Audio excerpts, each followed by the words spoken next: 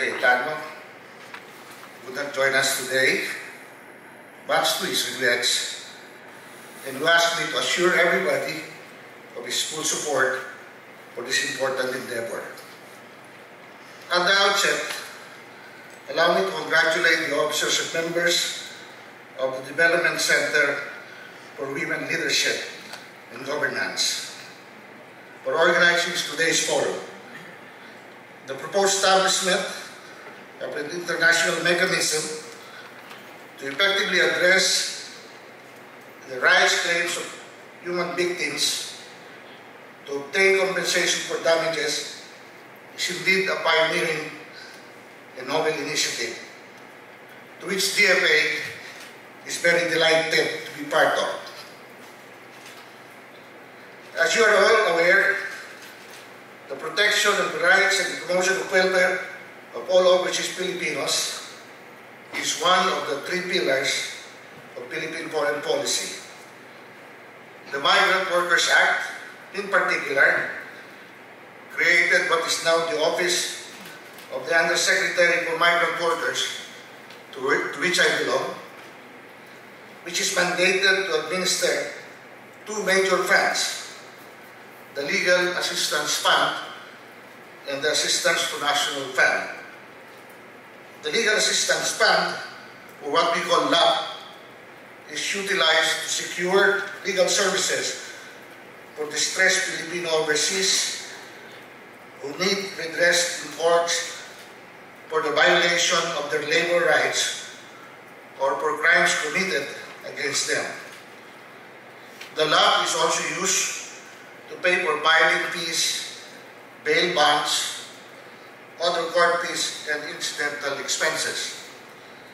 The Assistance to National Fund, on the other hand, or what we call ATN Fund, covers expenses for rescues and repatriations, food, accommodation, and personal care needs of wards, hospital and medical expenses, exit permits, airline tickets of distressed nationals, particularly victims of human trafficking. Under my stewardship, the Legal Assistance Fund will be doubled from the usual budget of 100 million per year to 200 million in 2018. The ATN Fund, on the other hand, will also be substantially increased from the usual 400 million to 1 billion pesos. From January 1 to August 2, 2017, the DFA had assisted 727 victims of human trafficking.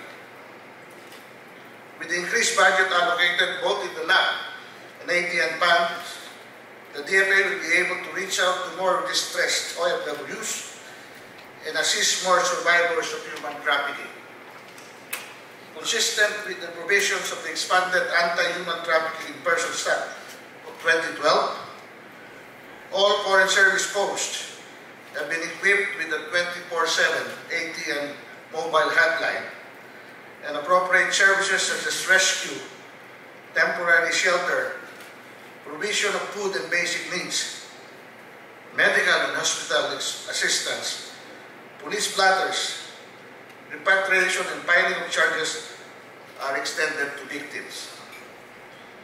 As member of the Interagency Council Against Trafficking in Persons and in partnership with member agencies, the DMA seeks to combat human trafficking by spreading awareness about the nefarious activity and the modus operandi of perpetrators. The DFA conducts seminars and awareness campaigns such as the Handa Alabang Mag-Abroad through the regional consular offices and other campaigns of human trafficking issues to Filipinos abroad the Foreign Service Post. The Philippine Overseas Labor Office, alongside our embassies and consulates abroad, also conduct post-arrival seminars to the newly arrived OFWs of their rights under the laws of the host country the DFA is also continuously upgrading the security, the security features of the Philippine passport to prevent it from being used in the operation of traffickers. The DFA also actively participates and contributes to the global efforts to eliminate all forms of trafficking in persons. As far back as 1994, the Philippines, through the permanent mission to the UN in New York, facilitated the resolution in the General Assembly on trafficking in women, which recognizes the importance of global partnerships.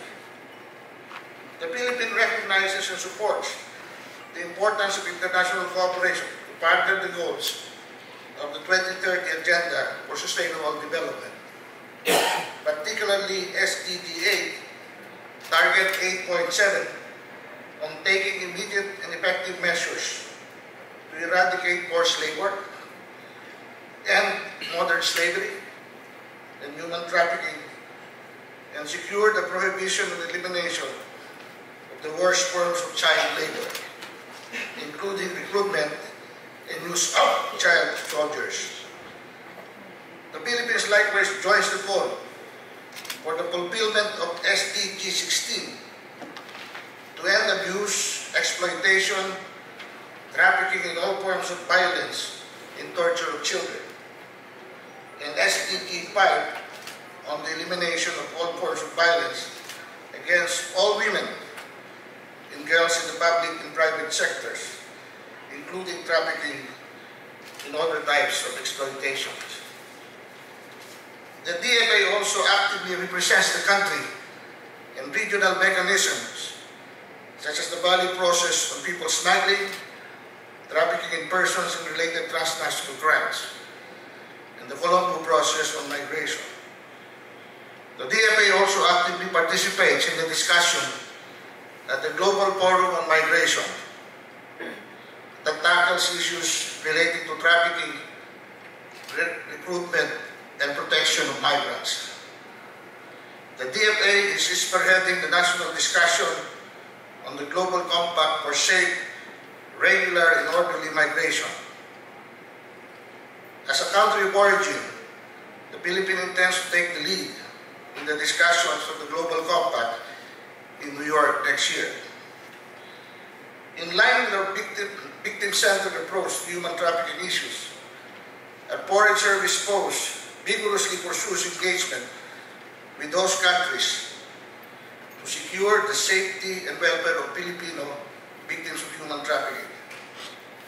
It also engages international organizations such as the International Organization for Migration and the International Maritime Organization, as well as civil society organizations with a view to assisting distressed OFWs Civil society organizations are a big help in areas where there are no Philippine embassies or consulates to provide first aid care to Filipino human trafficking victims.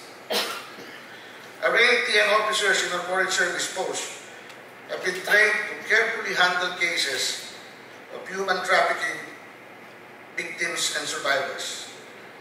Hired legal retainers at posts are also utilized to apply social benefits for Filipino victims in most countries that provide these benefits, such as housing, food, and visa assistance. Once the survivors have been repatriated, the DFA endorses them to DSWD for their psychosocial needs and to DOLE or OWWA to assist in their reintegration to Philippine society.